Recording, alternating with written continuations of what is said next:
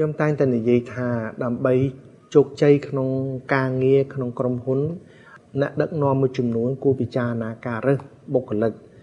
នៅស្រុកណាក៏ដូចស្រុកណាដែរមានប្រជាពលរដ្ឋខ្លះគឺមានចំណេះដឹងខ្ពស់ប៉ុន្តែមានភាពថ្លៃថ្នូរមិនរឹកមិនអឿមិនឆ្លើយ មានភាពទន់ភ្លន់រុះរាយរាក់ទាក់គួរឲ្យប្របីគួរឲ្យចាប់អារម្មណ៍គួរឲ្យយកចិត្តទុកដាក់ឲ្យមានភាពថ្លៃថ្នូរមានន័យថាគាត់ ចេះតែ5ទេប៉ុន្តែគាត់អាចធ្វើបាន10ហើយអ្នកខ្លះចេះទាល់តែ10ប៉ុន្តែធ្វើបានតែ5ដូច្នេះហើយពេលសម្ភាសយើងសិក្សាមិនមែនជំនាញតែមួយមុខទេ ជំនាញគឺគ្រាន់តែ15%នៃការជោគជ័យ85%ទៀតគឺយើងពឹងទៅលើអាកប្បកិរិយាអិយាបថមយាទហើយនឹងភាពថ្លៃថ្នូរទុនភ្លុនរុះរីរាក់ទាក់របស់គាត់បើបុគ្គលនឹងគាត់មានចំណុចទាំងអស់ហ្នឹង ហើយជំនាញគាត់មានតែ5យើងយកគាត់ទៅគាត់នឹងធ្វើឲ្យបាន10ឲ្យយើងគាត់មានទឹកចិត្តគាត់មានភាពក្លាហានគាត់មានភាពស្មោះស្ម័គ្រនឹងតស៊ូ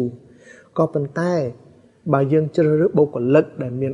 10ភាគច្រើនយើងគិតឃើញថាធ្វើបានតែ5 6ទេឧទាហរណ៍ប្រជាពលរដ្ឋយើងមួយចំនួនទៅរៀនស្រុកក្រៅបានអនុបណ្ឌិតបានបណ្ឌិតហើយកូនអ្នកមានហឺហា រឹករៀនចប់អត់ចង់ធ្វើការទៀបតូចទេ ចង់ធ្វើការធំដុំចង់ធ្វើការខ្ពស់ហើយមកទៀមទាប្រាក់ខែច្រើនអាកប្បកិរិយាអត់មានមយាទអត់កើតរឹកពៀឆ្លើយដូច្នេះហើយយើងយកមកសូមបីតាបណ្ឌិតហើយលើបណ្ឌិតក៏មិនអាចទៅមុខទៀតបានដែរបើសិនជាគាត់គ្មានភាព គេហៅថាភាពទន់ភ្លន់រុះរាយរាក់ទាក់តស៊ូអត់ធ្មត់ហើយនឹងការអឺសកម្មនៅក្នុងចូលរួមការលើកស្ទួយនៅវិស័យរស់ស៊ីរបស់យើងនឹងដូច្នេះខ្ញុំសូមផ្ដាំថាបើអាចទេយកអ្នកមានលក្ខណៈ5ហើយអកប្បកិរិយាមួយយា